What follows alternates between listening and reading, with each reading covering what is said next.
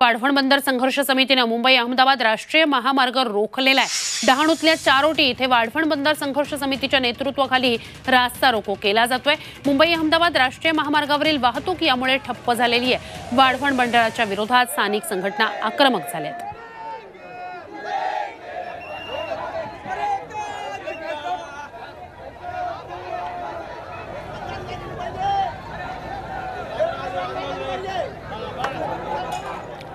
आणि याचाच आढावा घेतलेला आहे आमचे प्रतिनिधी हर्षद पाटील यांनी. प्रस्तावित वाढवण विरोध बंदराविरोधात जनसमुदाय एकत्र आला आपण बघू शकता. मोठ्या प्रमाणात वाढवण बंदर कृती समितीचे जे सदस्य आहेत नागरिक आहेत ते रस्त्यावर उतरलेले आहेत. त्यामुळे जो मुंबई अहमदाबाद राष्ट्रीय महामार्ग आहे तो ठप्प झालाय. आपण बघू शकता मोठ्या प्रमाणात महिलांचा सुद्धा सहभाग या आंदोलनात आहे. गेल्या पंधरा मिनिटापासून हे आंदोलन सुरू आहे. दोन्ही ठिकाणची वाहतूक जी ठप्प झालेली आहे मोठ्या प्रमाणात वाहनांच्या रांगा लागलेल्या आहेत.